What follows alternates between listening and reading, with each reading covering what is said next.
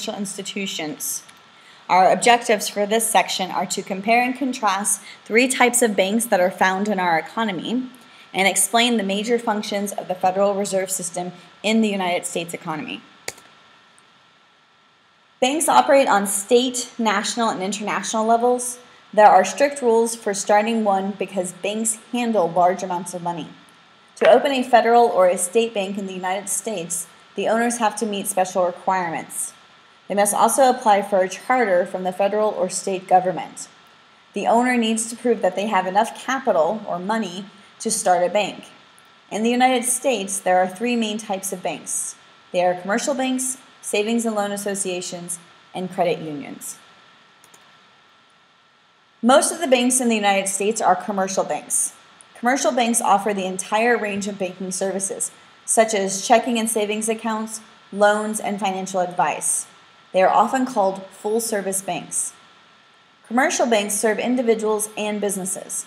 They are authorized to conduct business through a charter or license that is granted by either the federal government or a state government.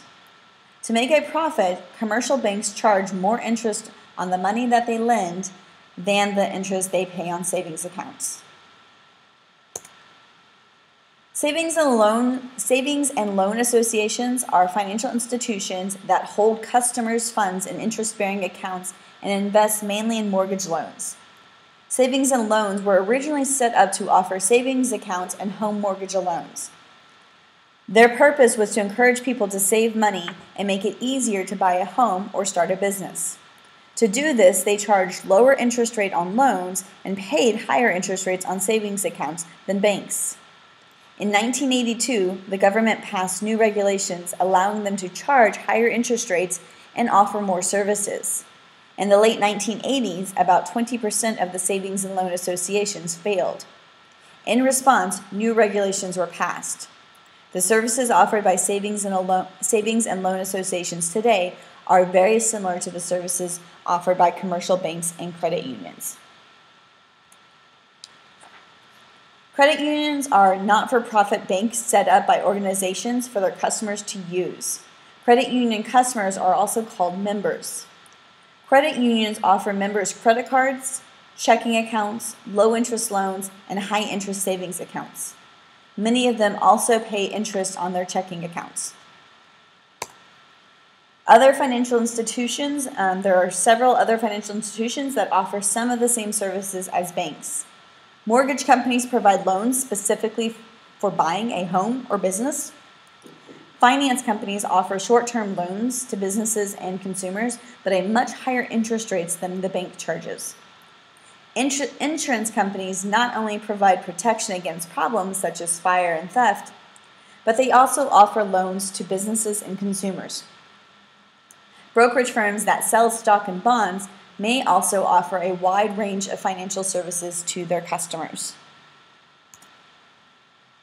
The Federal Reserve System is the central bank of the United States, also known as the Fed. The Federal Reserve is the banker's bank. It monitors the money supply. Congress set up the Federal Reserve System in 1913. Its mission is to provide the United States with a safe, flexible, and stable monetary and financial system. The Federal Reserve System consists of 12 regional Federal Reserve banks and 25 branch banks. It also has about 5,000 member banks. The Federal Reserve is run by the Board of Governors. It supervises the 12 district banks and regulates activity on the member banks. The Federal Reserve has six functions. The first one, clearing checks. Funds are transferred from one bank to another when someone writes or deposits a check. Number two, acting as the federal government's fiscal agent. The Federal Reserve distributes money to Federal Reserve member banks and commercial banks. It also tracks the deposits and holds a checking account for the United States Treasury. Supervising member banks.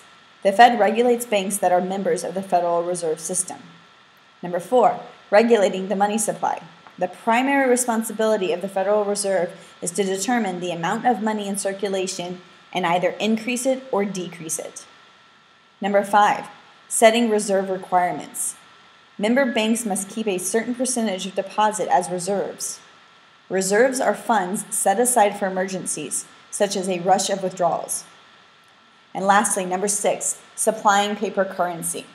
The Federal Reserve is responsible for printing and maintaining U.S. paper currency. And that concludes Chapter 12 and Unit 3.